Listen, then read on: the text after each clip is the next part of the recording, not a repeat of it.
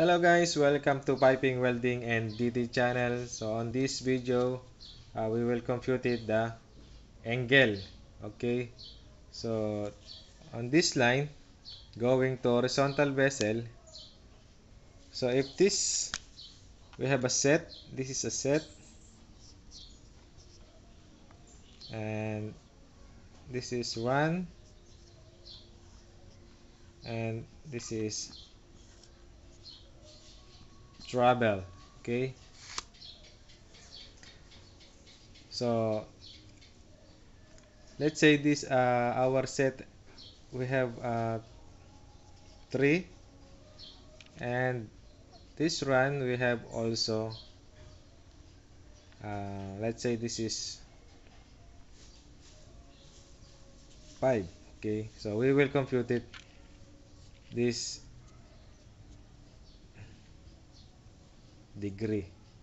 So this is the question okay?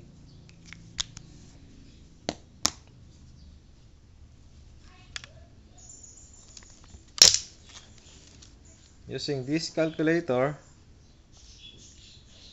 okay let we have a set uh, our given for set is 3 divide it to uh, run okay divide it to run. Our run is 5 so answer is 0.06 so on this 0.06 this is tangent okay? Just press the shift and tan. So, so that we will know the degrees so this is the answer. So we have a 30 degrees okay? So just off it just only at 31 degrees okay? So we have a degrees of 31 degrees okay?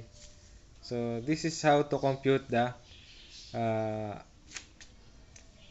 degrees okay? How to compute the degrees and we have a, a known uh, run and set. Thanks for watching Okay. guys and have a nice day. Bye